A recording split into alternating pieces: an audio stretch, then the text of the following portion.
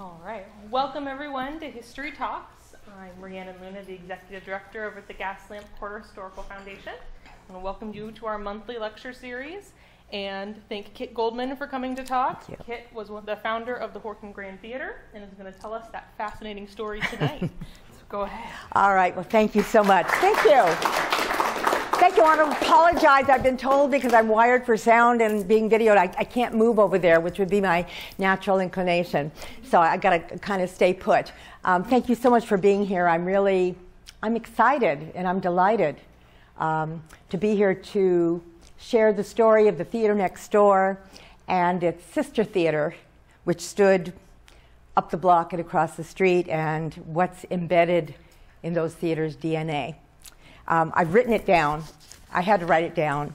Um, and I'm going to kind of work off the written page because if I went off the cuff, believe me, we would be here all night, right? Which wouldn't be so bad because we're at the Horton Grand Hotel, so maybe that maybe that might be a good option. Also, I have a few visuals, only a few. Um, that was what I was able to put together. Um, it's kind of minimal, um, but at least you're not. I'm in the training business for the last two and a half years, and we joke about death by PowerPoint. Well, you're not at any risk for that tonight. Um, as we go through this, um, please feel free if you've got questions or thoughts uh, mid talk. Go ahead and, and uh, speak up, and then we'll do a Q&A uh, at the end as well. So. Okay, folks, here's the story. The Horton Grand Theater, originally called the Dean Theater, and then the Hahn Cosmopolitan opened its doors on December 29th, 1986. It was built on the site of a 1912 San Diego paper box factory, and it was built as a residence for the Gaslamp Quarter Theater Company, which I founded in 1979 with director Will Simpson and designer Robert Earl. And in 1987, we launched our first season in that theater, and it was four shows. And those shows were Somerset Maugham's The Circle, Shelagh Delaney's A Taste of Honey, Larry Shue's The Foreigner, and Tom Stoppard's The Real Thing. Now, this was the second playhouse that we built in Gaslamp. And our first was the 96 seat Gaslamp Quarter Theater, which we opened in May of 1980 up the street at 547 4th Avenue. We were right across from the old Royal Pie Bakery, which was run by Alex Cannell. Some of you may remember Alex. And the theater, the Gaslamp Theater, was built on the site of an old Chinese dance hall and favored mahjong venue. And it was on the ground floor of the Pacifica Hotel, which was a single room occupancy hotel, and it was formerly the Siri. Now, I have to share something kind of personal with you. And Linda, our, my friend here, was with me that night. I have to tell you that in anticipation of this talk, I set foot in the Horton Grand Theater for the first time in the 25 years since I left it. And one of the reasons historic buildings are so compelling is all of the life that has flowed through them. And there was a lot of life that went on in that theater. Creating the theater and filling it night after night with entertainment was an amazing chapter, and it was fraught with emotions all across the board. And I chose during those 25 years to keep those emotions at bay, kind of like not wanting to run into an old lover that you still had feelings for. We can probably all relate to that, right? However, I came down uh, the other night to meet this lovely woman, Linda Ibarra, who was our photographer at the beginning stages of our theater, our production photographer, and I wanted to go through some archives with Linda. So I got there early, and uh, we were going to have a cocktail, and do some reminiscing, and I saw there was a show loading into the theater. And uh, Copley Alley, the gate was open, and the stage door was open. And I went down Copley Alley, which, by the way, we named uh, in honor of Helen Copley, got a $100,000 donation from her for the theater to do that. And I walked through that stage door and onto the stage, and I'll tell you, it was, uh, there was a tsunami of memories that came uh, crashing on shore. And as I stood there, a young man came out of the audience and uh, asked, Can I help you? And I told him that we'd built the theater, and he introduced himself, and he was the technical director of the San Diego Musical Theater, a very fine company which is now producing there. And uh, we chatted, and I have to tell you, I, I walked out of there filled with joy. That was such a beautiful theater, and a theater I gave birth to, and it was looking good, and it was doing exactly what it was born to do. So, that said, let me uh, set the stage for how that came to be. And forgive me, hello. You're going to hear about this woman right here. forgive me if I, if I go way back, but I'm going to go all the way back to where the story actually started, okay? I grew up in Hollywood. I was a latchkey kid with a single working mom who was an executive secretary to bring home the bacon. She was a fabulous actress and a wonderful writer, but she put that aside to support the family. And when I was eight, I produced my first show. I went around the uh, neighborhood and gathered a bunch of kids and brought them to my backyard and had my cats perform. And uh, so I was a little producer, but I, I was also a performer. Now, my mom's job transferred her to San Diego when I was in the 11th grade, and I entered Point Loma High School. And I performed in all the plays, and after graduating, I got a couple of waitress jobs. And uh, um, at 19, I got married. I got a job at the Union Tribune, which I would leave 15 years later after we opened the first theater. I had a son, I got divorced, I enrolled at San Diego State University, got my degree in early childhood education, and um, I was a single working mom living in Mission Beach. I was doing shows around town, acting at City College, um, acting at different community theaters, and getting my feet wet as a producer in a little company um, up in Del Mar. And um, when I graduated in 76, I had a great career path in education, and it would have been a real steady income for me and my son.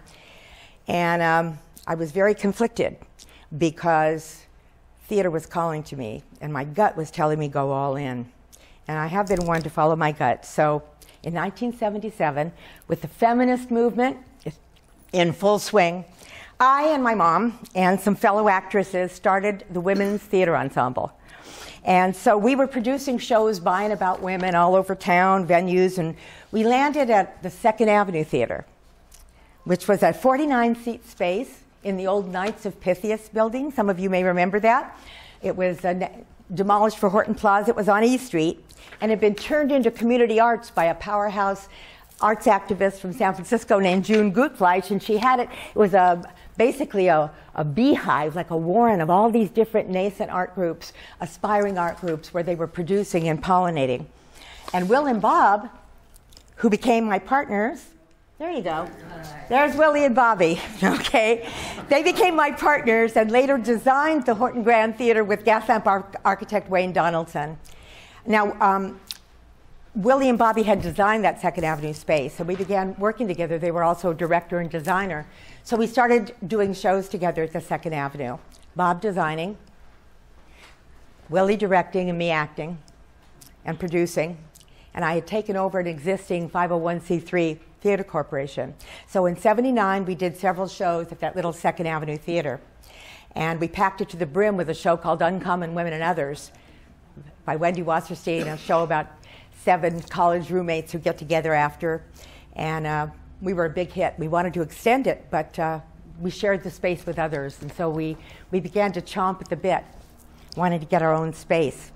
And I became a woman obsessed looking for space. Um, and theaters have specific requirements. Uh, high ceilings, if you can get them, a total blackout, um, and also all the stuff that's involved in getting an occupancy permit. And we were thinking we needed 100 seats. We had no money. So I was going to have to raise it. So I gravitated south of market, obviously, which where there might be something in our price range. And at this time, I was also producer for the Lyceum Theater. Can you hit that? Thank you. Anybody remember the Lyceum? Well, okay, the old Lyceum Theater, which prior was the Hollywood Burlesque Theater, uh, right? Exactly, run by the legendary Bob Johnston, whose Palace Bar was in the original Horton Grand and was in this hotel when it first opened. And the old Lyceum was demolished for Horton Plaza, by the way, but thanks to the efforts of Dan Pearson here, was replaced with the Lyceum Theater. That's now in Horton Plaza. That's a whole other story. Um, but for now, gas lamp developer Jim Schneider, do any of you remember Jim? Was the guy behind the Lyceum Theater. He was also the lead investor in the Keating building. And he was the one that uh, had the Lyceum, and I uh, approached Jim. Uh, we had the, a show called The Lyceum Follies going there, and I approached Jim and said uh, um, I, I was looking for space. So we arranged a meeting, and that meeting took place behind the Keating building on July 18th of 1979.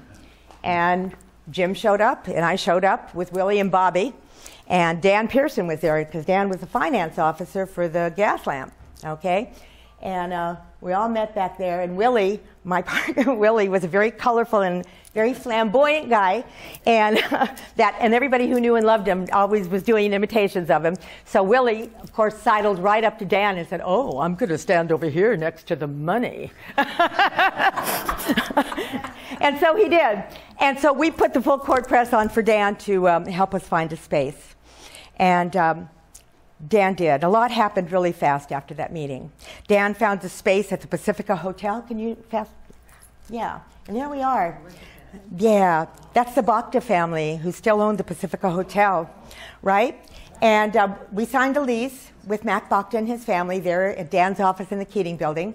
I got a $25,000 donation from Laura Kerr, who was a local philanthropist who loved what we were doing. And we worked with Wayne Donaldson to design the theater to code and to historic code and begin renovation. Um, this was late in 79. And at that time, the only attractions south of Market were the Goodwill and uh, the Rescue Mission. And way, way, way down on Fourth Avenue, like a beacon in the darkness, was Cost Plus, right? And it was dark. It was literally dark. There were no street lights, the sidewalks were crumbling, but you know, the area and its lovely old buildings and its fellow scrappy pioneers, well, it felt like the future to us. So other things happened fast as well. Dan and I became a couple. And along with my then 12 year old son, Brian, we moved in together into two of the high ceiling Victorian rooms at the Grand Pacific Hotel, which Dan and his partners had purchased. And it was a single occupancy hotel, and we all shared uh, the bathroom and the shower facilities with fellow residents. It was quite an experience for my son and for all of us, but it was a memorable experience, one I would never trade. And then to raise the rest of what we needed to open the little theater, we did fundraisers and went calling on gas lamp property owners, and we found support from enlightened gas lamp pioneers. And I want to remember at this moment two who are departed but gave us so much Maurice Slayan and Bud Fisher, who were gave us office and rehearsal space and advice and counsel and financial support. So, also Whoopi Goldberg, um, this was before she was well known. Whoopi did a fundraiser with her partner Don Victor there on the ground floor of the Grand Pacific. All right, and um, so in May of 1980, we opened. Can you go forward? We opened uh, the Gaslamp Quarter Theater, and that's not a great shot, but up above is before and after. And it was a really, really good show that got really, really bad reviews, and it was a big flop. Uh, and I should mention that my significant other before this meeting with Dan was the head theater critic at the San Diego Union Tribune. so that breakup reverberated throughout my theatrical career, I have to say, but enough said about that. That's a whole other talk, okay? So, so unlike other small theaters at the time, we, um, we were committed to paying our actors, so we had overhead and people were afraid to come down here. Um, we sometimes had more people on stage than in the audience, literally, and we had issues with street people. We had a raggedy guy with a push broom walk through the door of the stage this, of the hallway that led back into backstage and actually walked directly right onto the stage. And it was in the middle of a performance. and so fortunately it was theater of the absurd. And so, and the whole, the whole cast just played it off and kind of marched him off stage and went on, on with the show. And the show was a flop, and seeing that I was despairing and I was wondering if I'd done the right thing, Don Wortman, who had produced the Lyceum Follies, uh, he was a legendary theater impresario, and he had hired me as his associate producer there at the Lyceum, really believed in me, and he was a major mentor. He came to me and said, Look, Kit, we're going to do a musical here. We're going to do a musical, and we're going to pack them in. And he suggested the 1937 Rodgers and Hart classic Babes in Arms. and it's full of hit songs and tapping feet, and there were, but there were 18 people in the cast and numerous set changes. We had a dressing room for eight people and virtually no backstage. Don said, trust him, and I did, and we went into pre production. Babes in Arms opened in 1979. It was one of the hottest San Diego summers on record. We had no air conditioning. There were 18 people on stage tapping and sucking up every ounce of oxygen there was in the place. And the cast had to take turns getting into the dressing room, and they were squeezed in like sardines in the backstage waiting to, to enter. And we literally, literally had a couple of oldsters pass out in the audience. And it was really scary. Um, but we built it and they came. It was a big hit. And my mom and my son ran the box office and concessions, and they were happily going crazy. And while it was tough, drawing an audience out of the market, we now saw it was possible. We produced three more shows in that first year, including Whoopi Goldberg's one woman show that went to Broadway. And Whoopi and I would meet in the box office every night after and sit there and have a shooter or three and, uh, and divvy, up the, divvy up the proceeds 50 50. The audiences were small, and Whoopi wasn't known yet in Lower Fourth. It was spooky at night. Our marketing budget was non existent. And although our work was top quality, we really struggled to get on the map. And then in January of 1981, tragedy put us in the spotlight.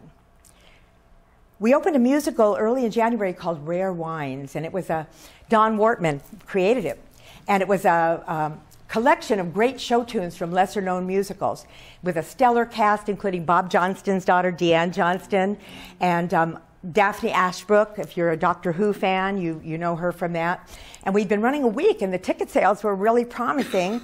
And then I got a phone call from a reporter at the Union Tribune who said, Hey, did you hear? And I said, No, I, what? He said, Don, who had family in San Bernardino and kept an apartment there, um, had been found dead in his apartment under suspicious circumstances, possibly a homicide. He wanted to do an interview with me and talk about Don, and I was deluged with calls um, and TV and newspaper interviews. And as we canceled that show and we grieved the loss of Don, our name and our face got out there big time. And in my darker moments, I accused Don, whose life was all about filling seats, of a really, really bad publicity stunt. well, we had to close Rare Wines, obviously, and move on with the rest of our season. And while it was still a struggle, we were gaining traction. The gas lamp was slowly coming to life. We were building a board. I'd quit my job at the Union Tribune and was full time producing at the theater now. And I performed in one show a year. And in 82, it was Noel Coward's naughty 1925 comedy Fallen Angels about two British wives getting drunk, admitting to premarital sex, and contemplating adultery. sort of a real housewives 20 style. And there we are. And I and brilliant uh, San Diego actress and producer Rosina Widdowson Reynolds, if any of you are theater goers know her, played these two debauched wives. And no one could do Coward like Willie Simpson. And the show was a big hit, and we kept extending it. And the only thing was, a few weeks into the run, Dan and I got the joyous news that I was pregnant. And so we ran off to the courthouse between a matinee and an evening show to get married. And uh, my mom left her post at the box office to come and witness it. And as the show went on and we were happy with the extension, my costumes kept getting bigger and bigger and bigger. And um, also, here's the deal we, we drank a lot of faux cocktails in that show. And you know, when you're pregnant, that's to be an issue, drinking a lot of liquids. And every, every, every night at intermission, it was a desperate race between me and the audience to get to the one ladies' room that we had. And, and then coming out of it, you know, in the theater, we always say you're not supposed to break the fourth wall. And that's that invisible wall that separates your reality from the audience. But obviously, that was blown big time when I would come out and there would be a whole line of people there waiting. And hey, I mentioned that my mom, and uh, my son Brian ran the box office, and they did so very, very professionally.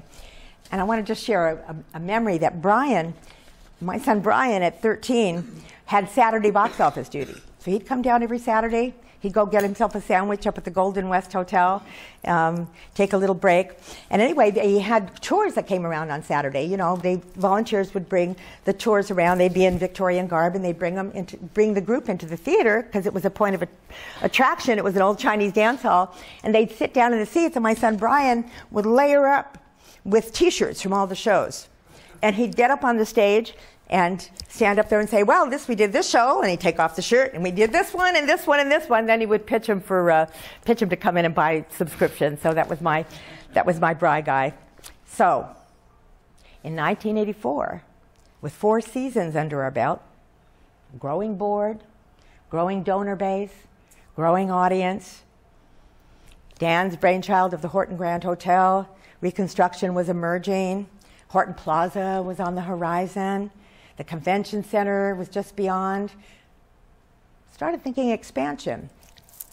And we were still struggling mightily to make ends meet, though, on 96 seats. And it was necessary to increase our revenue potential to survive and grow. And like most nonprofit theaters, our revenue from the box office only took care of about 50% of our ticket sales. And there was another significant factor that happened in 1984 uh, and that propelled us forward and her name was Patty LaJoy. Now, Patty Kramer, she's here tonight. And Patty had just sold a very significant, very successful business, and she was looking for her next passion, for her next quest. And she heard about Gaslamp, and we connected. And she loved what was happening in Gaslamp, and she shared the vision. And she signed on as our development director, something I'd never had and said she would spearhead a campaign to raise the funds for a second theater. And I thought, yeah, there is a God. and in those late night discussions with Patty, and yes, there may have been a bit of wine involved, the embryo of the Horton Grand Theater was conceived and began to gestate. Sort of a two mommies scenario before it was in, right? so 1984 was also the year my mom, who was so much a part of the theater story, passed away. Also, at that time, there was a lot of contention between the gas lamp, we were talking about this earlier, between the Gaslamp and Horton Plaza. Uh, how its eastern perimeter would interface with Gaslamp. And we would, um, Dan and I were both on the, uh, on the board of the Gaslamp Quarter Association, and we would have these meetings and negotiations with the Horton Plaza team and with Ernie, and they were intense and they were heated. And um, at, as association board members, we participated, and someone I remember at that time likened the Gaslamp board to junkyard dogs. and I remember thinking that that was a term of endearment. Anyhow, CCDC, the redevelopment agency, decided to plan a roast uh, of Ernie Hahn. And they thought it would be really funny, given all of the contention, if uh, I put together a roast. And so that was when I met Ernie Hahn. I, I put something pretty wicked together. And uh, I socked it to Ernie real good. And he gave it right back. We had a lot of fun and we connected. And Ernie took an interest in what we were trying to do. And we shared with him the vision of a second theater. And he became an advisor and a friend, a mentor, a powerful supporter, a board advisory board member, and ultimately the theater's namesake. Ernie called us the Marines. He said we were down there in the trenches keeping the, the hostile forces at bay. In late 1984, we committed to building a second larger theater. We would be producing uh, shows in both spaces, so it, they needed to be close. And there was a building that called to us. And it was uh, just south of the island, next to the site where Dan planned to reconstruct the hotel. And it was a dilapidated old brick building, and we found out it was the San Diego paper box factory. Now, our dream was to create a proscenium theater with a fly loft. Um, and uh, the proscenium is a classic style of theater construction with the arch over the stage, okay, and with the audience pretty much in a unified view of the of the of the stage. And the fly loft is the area above the stage where you can raise and lower or fly, as we call it, scenery. And the, this is different, say, from an arena stage, which is in the round, or a thrust stage, which is surrounded on three sides we had a black box with the thrust stage at the Little Theater, and we wanted to be able to really create some sizzling, scenic uh, experience for our audience, and so we wanted to build it with a fly loft. And there hadn't been a theater built with a fly loft uh, in San Diego in several decades. It's a very vintage way to build a theater, and that's what we wanted. So the Paper Box Factory building was owned by a bank, and Dan reached out to them, arranged for us to take a look. And uh, it was Dan, Willie, and Bob, our theater director and designer, who are also architects, and Wayne Donaldson, and Patty Kramer, and our board president, attorney Joe Fish, and I. And um, we walked into that building, and the energy inside was powerful. It, um, the walls of that building welcomed us. And for those of you who are into old buildings, I think you know exactly what I mean. So, we decided that was our spot. And we started making the rounds of all the people and agencies that had to buy into the dream. The folks at CCDC and the city gave us their blessing and in concept. And Willie, Bob, and Wayne began to uh, get into a deep dive about design. And now we were where the rubber meets the road on such projects, and that's funding.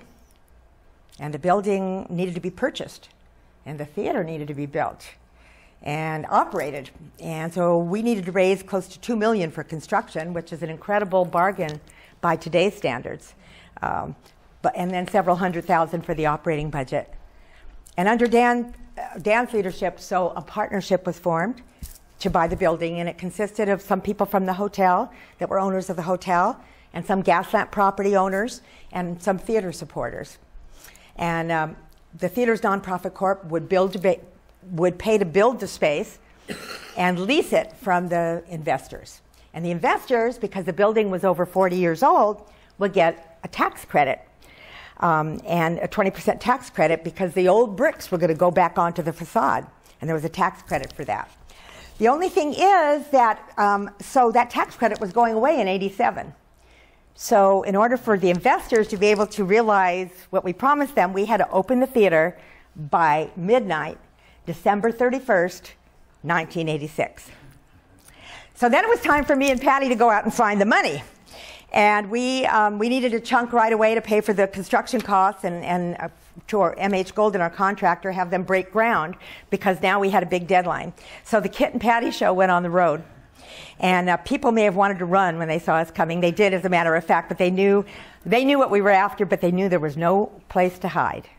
right, Patty? And we were ready, and listen, we were ready to put donors' names on everything in the theater. We were talking about that earlier. So, you know, every last piece of the theater, we would have put it on the Biffies if, if they'd have wanted it. Your name on a seat in the theater, Mrs. Copley's name on the alley, your name on a brick in Copley Alley. Um, we sold seats. Um, and we had a beautiful piece of black marble in the lobby with an engraving tool. And so when our donors would come, we would make a big fuss during intermission and have them sign the marble. Uh, and we had fundraisers, and including one very memorable one, and it was kind of a, a, seminal thing for the Gaslamp. Ernie Hahn sponsored it. Horton Plaza sponsored it. It was called the Celestial Fantasy. It was a black tie affair in 1985. And it was chaired by an iconic San Diego arts activist, Polly Puterbaugh. Some of you may remember Polly. And it was held in the warehouse at Fourth and Island. And remember, this is 85. It was held in the warehouse at Fourth and Island where Dan um, and had stored the dismantled Horton Grand the- uh, Hotel, and he and Billy Riley, fabulous Miss Billy, had created a mock-up Victorian room so that they could show investors what they, what, what they were doing. And guests, guests were told they would be picked up at the U.S. Grant in Cinderella carriages. We couldn't really tell them where they were going because they probably wouldn't have, wouldn't have come. So we said, Don't worry, we're going to pick you up at the Grant in these carriages and take you to a mystery destination, and then we'll take you back in the carriages. And we, I remember watching some of the faces as they got out um, there at, for, at Fourth, and, um, Fourth and Island. But Inside, we had created this heavenly, gauzy, stunning, dreamlike scene, and the meal, and the food, and the entertainment was all world class, was all elegant. And for us, it was a metaphor and a foreshadowing of the transformation that awaited the theater and the hotel in the district. So, our major, our major naming ace in the hole was the theater itself, if you can advance it. So our beautiful Broadway-style marquee. This was this was the biggie, and we offered it to Ernie Hahn because he had done so much for us. And Ernie, in typical fashion, in our experience with him, um, they weren't really into being recognized for what they did. And um, he figured it, it, was a really great opportunity for us to go out and find new, somebody new and, and leverage this opportunity for, for some more funding. So um, our, our investors were counting on the tax break. We had to get going. We needed to keep the coffers flowing and enter Charlie Dean, a Rancho Santa Fe businessman and recent New York transplant whom Patty met. And as always was her way, she thoroughly charmed him. And he needed recognition and status in his new corner of the world. And we needed a commitment. Patty got it. He gave a piece up front and signed a pledge to pay the balance when certain benchmarks were met. We took his pledge to the bank, got our construction financing that we needed. We put his name up on the marquee. We were jubilant. Charlie was invited onto the board, and we headed for the year end deadline of 1986. And did we make it? Well, perhaps the best way to share this piece of the story is to read a few excerpts from the LA Times article dated January 3rd, 1987. The headline Gas Lamp Stage Beats Tax Clock. and I quote from the article On Monday night, December 29th, the Gaslamp Quarter Theater christened its new Dean Theater with a raucous vaudeville review, and in the process preserved its investors' income tax credits.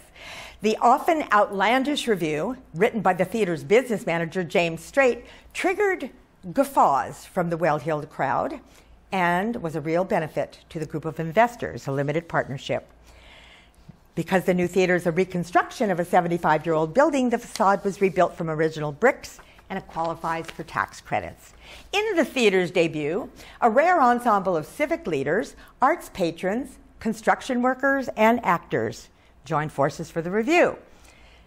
By turns, irreverent, these are words that reviewers like to use irreverent, self congratulatory, corny, clever, and naughty, it was like a living scrapbook of the six year old Gaslamp Quarter Theater. Developer and philanthropist Ernie Hahn, sitting in a director's chair, stenciled Cecil B. DeMille, served as a gracious and humorous master of ceremonies.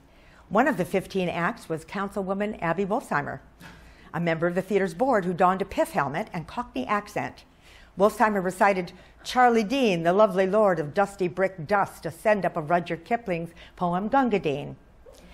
Clearly a newcomer to the stage, Dean also performed a duet called What Do the Theater Folk Do, based on the tune from Camelot. Asked how he was pressed into a performing before 250 people, Dean quipped, When Kit asks, you don't say no. if only that was the case. hmm. And I hit the stage, and it says here Goldman hit the stage with most of the office staff whom she had strong armed into the review. She, development director Patricia LaJoy, and another staffer twittered through the three little maids from the Mikado, then doffed their kimonos for chorus girl attire, vamping through a sultry comic, Hey, Big Donor, satirizing their own success in fundraising. And also, while not part of this write up, I have to say Dan got, took the stage with Billy Riley and sang, Ah, yes, I remember it well, from Gigi. And so, the Playhouse, now known as the Horton Grand, was born amidst much joy and hope. We came in on schedule and on budget. We still had major fundraising to do and eight shows to produce in 1987 in the two, in the two theaters. So we hit the benchmarks to trigger that pledge from Charlie Dean. And to our complete shock and dismay, he refused to honor it. And he went public with some very hurtful, false, and baseless claims about the theater as an excuse for reneging on his pledge. Uh, honestly, it was a very nasty, painful, toxic chapter for us, about which I'm not going to get into the weeds. But I will tell you that in the aftermath, we produced the play Little Foxes by Lillian Hellman. Maybe some of you know it. And I played the lead, Regina Giddens, the southern villainess. And every night in a scene, I, would, I got to say to my husband, I hope you die. I hope you die soon. I'll be waiting for you to die. And I don't, didn't feel that way about Charlie exactly. Um, but he certainly did help me reach the emotional summit that I needed.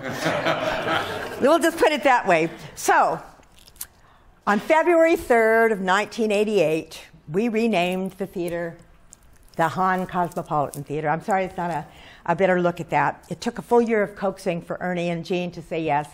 And the LA Times article about the renaming carried this quote from Ernie Jean and I have never really gone for recognition. We remain anonymous with nine tenths of our giving. The rationale given to Jean and me from the theater was that because we've been involved, it will be an encouragement to other people to give more support to downtown.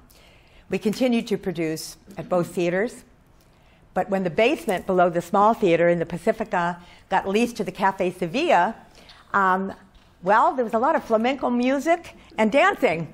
And we, we, try, we tried to prevail and tried to keep producing, but that sound kept wafting up. And to be frank, the Sevilla was a more lucrative tenant for the Bhaktas. And so we had to close up that shop. Like all the greatest plays, my chapter at the theater had a beginning, a middle, and an end. It had highs, it had lows, conflict, love, laughter, tears, transformation, enlightenment, and redemption. I left in 1992 to pursue other interests and turned over the operation of the theater to some of my colleagues there who did excellent work. And then a few years later, the Lambs Players, a terrific group from Coronado, took up residence there. And by that time, the partners of the hotel had acquired the theater and they renamed it the Horton Grand. Now, during my time there, we not only produced six seasons of plays, we produced many special events and performances, including the annual Streisand Festival of New Jewish Plays, which we did many, many years in a row, and the Young Playwrights Project. Our stage was also graced uh, by some pretty amazing people Marion Ross, Steve Allen, Shelley Berman, Pam Grier, who starred in uh, Frankie and Johnny and the Clair de Lune. Uh, was a huge hit. Mercedes McCambridge and Nehemiah Persoff. Also, I have to say, um, I have to acknowledge there was a lot of romance in our theater on and off the stage. We hosted an onstage wedding, and it was really a, a gas lamp love story um, of a brilliant, beloved member of our pack, the late Dudley Anneals, and his soulmate, who was Gaslamp stained glass artist Kelly Freiberg. And she's also now departed. Dudley was the accountant for the hotel, and he was a theater, a poet, a historian, and a Renaissance man extraordinaire. That day, seeing he and Kelly unite was fantastic. I'm really happy I was able to step back into the theater, embrace the memories, and share all of that with you tonight. It's a great space in a great place an amazing journey, and I was truly blessed to be a part of it. I'd like to take just a minute and introduce my guests here tonight because they're some very special people. This is Bruce Rogers, my wonderful guy of 18 years, and he's a heroic retired fireman. And because of all that's going on in California right now, just want to say thanks to all of your brothers and sisters who are out there uh, fighting. Right and uh, Dan Pearson, who you all know, and his fab wife, Nancy Curran.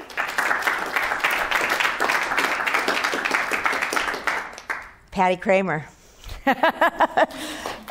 Thank you. Who you've heard so much, and her partner in crime, Bill Waite. Yep. And these two lovely ladies right here, Ingrid Nielsen and Linda Ibarra, who are high school classmates of mine, and who were down here at the very beginning supporting, bringing people down, enjoying our shows. And Linda is a superb photographer. And for the first really four or five years that we produced down here, Linda created a beautiful um, um, a, a, beautiful body of, of, photos of all that we did. I didn't really do her justice on what you had um, tonight. So, with that said, any questions?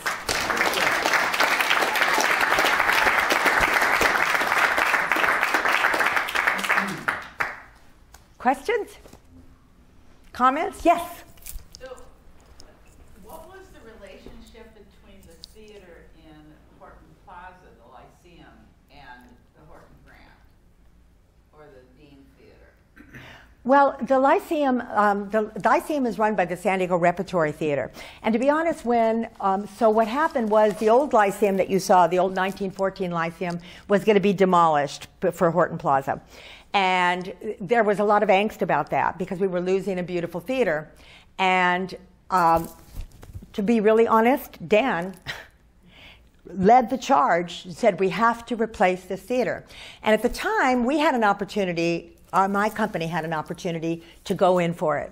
But to be really honest, by 85, we just weren't ready to take that to take on a big, a big space like that and to do it justice. So we um, backed off, and Dan, and we um, suggested to Dan that he talk to the folks at the San Diego Rep because they had been around a lot longer and had had more time to develop. And so Dan, I mean, I don't know if you want to say anything about that.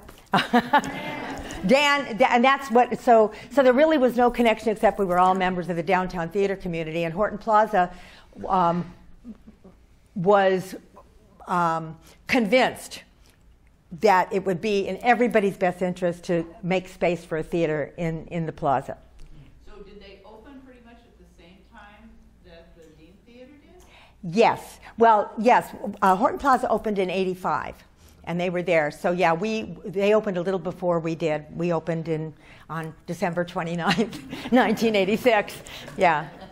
Good question. Was the California and the Balboa going at that time? The Balboa was decrepit at that time. You know, the Balboa, um, you know, I mentioned uh, Polly Puterbaugh, who um, chaired our, our Celestial Fantasy fundraiser. Polly, Polly was responsible for so much good stuff, including she and I was actually part of it too, part of the initial effort to renovate the, the Balboa. But the Balboa was, um, had fallen on terrible disrepair, and it was a real concern. It was an eyesore, and it was a beautiful theater inside. It had, but it needed tremendous renovation, and nobody was taking a, a, the lead to restore it. So the Balboa came much later. The Balboa really didn't get restored until maybe 10 or 10 years ago. Huh? Yeah. Good question. What about it? Yeah. I don't, I don't know that anything's really happening with the California Theater. I think they're gonna build a condo building. Okay. Yeah. So when did it, was it producing? No, it was. There's one that really stands out for because something really, really kind of strange and awful happened in it. But um, we we did a lot of English um, literature. Um, are you familiar with Alan Ayckbourn, the playwright Alan Ayckbourn, who writes just brilliant, wonderful literature? And we were doing his um, show Woman in Mind with Rosina Widdowson Reynolds, and just a fantastic cast. And it's a play about a um, um, a, a, woman who's married to an English vicar, and she, and her life is very dull and very unsatisfying. And uh, she creates this family in her mind and they come to life because she wants a more exciting family. And it's a clash between and her fam her fantasy family and the real family they actually end up meeting and and so in the midst of this I remember sitting up in my um, in my office because uh, I had an office up there uh, in the theater that had a view to the stage and had um, speakers in the office so I could hear everything. So I could be up there working at night and watching the show and hearing what's going on. And all of a sudden, I'm hearing the show, and I'm not hearing what's supposed to be being said out there at all. and I'm looking down, and the character who was uh, who's a wonderful actor, the guy, he um, he had a psychotic break on stage, and so you can imagine he he he went into a break and started um, st- started going off, and the actors were trying to get him back and get him back into it, and um, we we actually had to and. They, they managed to get him off stage, and the next night we had to have somebody go on with a script. And poor and Eric, we you know we w- worked it out with him, and um, but that, that that's one that comes to mind. Uh, you know, I was a producer, so you know. The, the, oh, but I'll tell you another one. You saw Pam. Yeah. Okay, so frequently a cast can cover up the error, but that error was too big. It was. So the audience did know what was going on. The audience would have sensed that something was amiss, but Um, actors, yeah, you know, some of the most exciting moments on stage are when things go awry. That's really sometimes the excitement of, of live theater. And that was too much excitement, though. Um, yeah, and the next night we had to send someone on with a script. It was Navarre Perry that we had to send on in that part. That's a whole other story. And he um, and we just explained to the audience what that this is live theater and we, we want the show to go on. Um, so, but another another one I have to tell you about that was um, so incredible was a show called Frankie and Johnny and the Clair de Lune with, by Terrence McNally. And Pam Grier, whose picture you saw there, um, and a very fantastic San Diego actor named Bill Anton did that show. And it was really important to us because we, it was really hard for us to get the African American community down um, to see our shows, and we were really, you know, wanting to do that. And when we got Pam Grier into town, we really opened up to a whole new, whole new audience. And it was a very sexy show, and it was a very powerful show about a waitress and a cook a couple of kind of loser types who, and it opens up with Chopin and a big love scene. And Pam stayed here at the at the Horton Grand. She's a pretty big star. I, I, don't know if you've ever seen the Jackie Brown movies, but she, you know, she's a terrific actor. Uh, so that was really we had something bad happen outside. Again, we were, you know, we're down, we're down here. And I remember one night going to Frankie and Johnny and the Clair de Lune I was there to watch the show and hearing screaming outside and went out and there was a stabbing going on on the sidewalk that we were able to actually stop. But th- those kinds of things happened. Um, and all of the um, all of the Noel Coward shows that we did. I mean, we were English comedy was a real uh, was a, a real um, was really in our wheelhouse. Uh, and we enjoyed that. You know, that brings to mind something else um, when you ask about shows that, remember, we, um, during the second season, we did Tennessee Williams' Sweet Bird of Youth. And, and I played Alexandra Del Lago. And, and in that show, you know, again, it's a, it's a very sensual show, and I was wearing like a satin nightgown, and um, well, two things happened during that show. First of all, the guy that, I, that was playing my, my lover and I were not connecting. And I remember Dan saying, You got to take him out to the park and get to know this guy somehow and make something happen. I remember we, that I was really, really scared, and we did do that. But also the other thing, oh, wait a minute. No, no, no, no, no, no. That came out wrong. that came out wrong. We got to know each other because I was freaked out. Because I knew, Dan knew that, the, uh, you know, when we opened a show on Friday night, the review showed up on Sunday morning. And we lived in Golden Hill at the corner of 26 and A, and I would get up at the crack of dawn, go up and get the paper.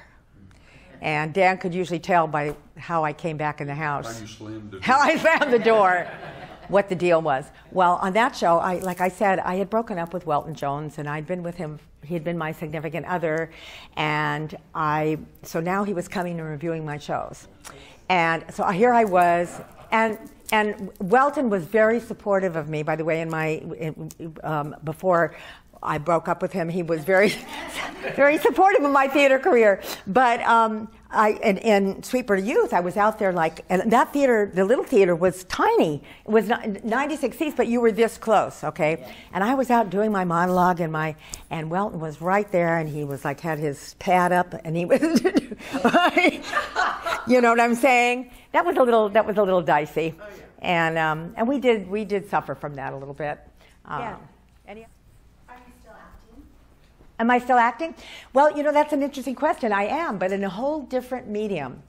Um, when I left the theater, I started a, a. I looked around for, and I had my education background and wondered what, what would be best for my skill set if I wanted to move into business out of the arts. And um, I had some friends actually at the city of San Diego. I don't, any of you remember Kevin Munnelly? um, and he introduced me to some human resources people that, and because I was thinking, you know, theater would be a really powerful way to train. It would be a really powerful way to get it, information across, to bring it to life.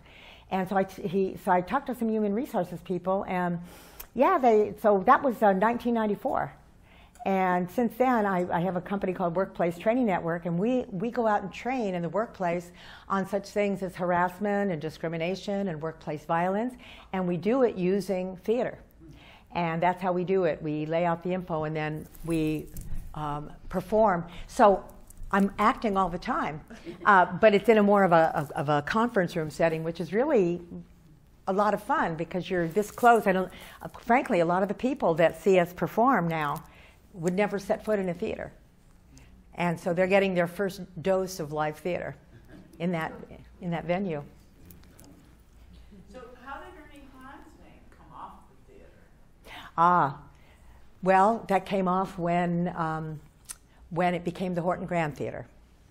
So when the partners at the hotel, very good question, and that made me sad, you know, to see his, his name go down. But hey, everything changes and evolves, and it's a world is a changing place. So, um, and Ernie was gone by the time it came down, so he never had to experience that. So, um, yeah, so when the when the hotel ownership took it over, and it made sense to call it the Horton Grand Theater.